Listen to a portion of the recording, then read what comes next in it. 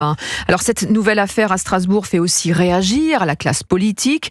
Alexandre Chauveau, la droite parle d'une offensive islamiste contre la société et fait le lien avec d'autres actualités récentes. Oui, une jeune fille agressée pour non-respect du ramadan près de Strasbourg, un homme poignardé à mort pour avoir bu du rosé à Bordeaux ou encore le meurtre du jeune Chemseddine à Viry-Châtillon pour avoir parlé avec la sœur de ses agresseurs. Éric Zemmour parle d'un djihad du quotidien permis selon lui par l'islamisation de la société.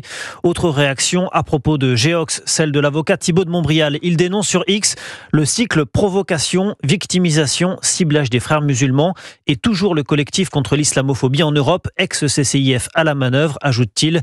L'inquiétude gagne également les rangs de la majorité. Maud Bréjon, invité ce matin de la grande interview d'Anthony Favali sur Europe 1. Pendant trop longtemps, une partie de la classe politique, c'est encore d'ailleurs en partie le cas aujourd'hui, et je pense notamment à, à la France insoumise, euh, a refusé de qualifier ce qui se passait. Il y a aujourd'hui un islamisme en France qui essaie de mettre des coups de canif dans le pacte républicain. Je pense que nommer les choses, c'est déjà un pas en avant très important. Et peut-être qu'on ne l'a pas suffisamment fait par le passé. Voilà, et pas de réaction à ce stade de la France insoumise ni du gouvernement.